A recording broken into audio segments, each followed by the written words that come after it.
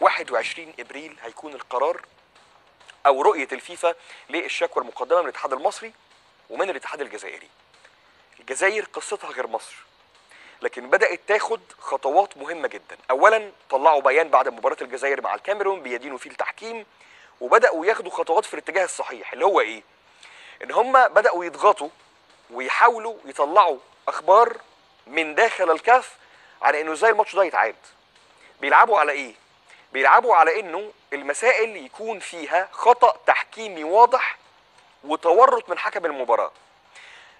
ديزاير تيوب آه، ده موقع شهير في الجزائر كان بيتكلم على القصة دي. مصدر من الكاف كان بيتكلم الموقع بيقول إنه الاحتمالية الوحيدة إن الماتش ده يتعاد إنه لازم الاتحاد الجزائري يطلب تسجيلات للمحادثات بين حكام تقنية الفار والحكم بكاري جسامة بعد الهدف الأول لماتش الجزائر مع الكاميرون الجول بتاع الكاميرون. فيا جماعة روحوا اطلبوا المحادثات اللي كانت موجودة من غرفة الفار وبين بكاري جسامة. لو ثبت إن في تورط في المحادثات دي هنا في مشكلة. هنا في مشكلة. ليه؟ لأن هم بيلعبوا على إنه في 2018 ماتش جنوب أفريقيا والسنغال اللي جنوب أفريقيا كسبته 2-1 تم إيقاف الحكم جوزيف لامبتي مدى الحياة لأنه ثبت تورطه في قضايا ليها علاقة بالتلاعب بنتائج المباريات واحتسب ضربة جزاء غير صحيحة لمنتخب جنوب أفريقيا. آه مش شبهها قوي لكن حصلت قبل كده. فاللعب على هنا.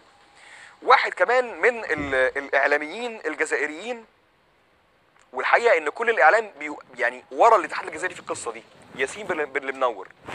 اتكلم مع الإسباني بيدرو مارتن ده خبير تحكيمي كبير وخد منه audio بيتكلم فيه على إنه اللي حصل ده كان خطأ كبير جدا وإن الجون ما كانش ينفع إن هو يتم احتسابه وبدأ يتكلم مع خبراء تحكيميين كتير ويتنشر ده في الرأي العام الجزائري. وبالمناسبة كان كابتن جمال الغندور واحد من الناس اللي تم أخذ رأيهم في القصة دي وبدأ الإعلام الجزائري يبقى في ظهر الاتحاد الجزائري كله رايح في اتجاه إن نضغط على الكاف عشان ناخد المحادثات من غرفة الفار نروح للاتحاد الدولي. حتى لو ما حصلش حاجة لكن في النهايه دي الحالة. ده اللي بتكلم فيه بقى.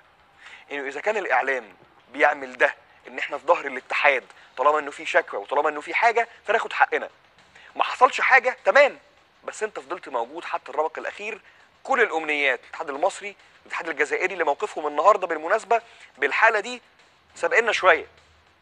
فكل التوفيق إن كل واحد ياخد حقه وللجزائر كل التحية إعلامها. اللي في ظهر الموضوع كمان المحادثات اللي أتمنى إنه فعلا يقدروا ياخدوها من غرفة الفار واللي ممكن تكون بتقلب الموضوع راسا على عقب. فكل التوفيق ليهم في محاولة نيل الحق أو على الأقل حتى الرمق الأخير الجزائر في محاولة لإعادة المباراة مع المنتخب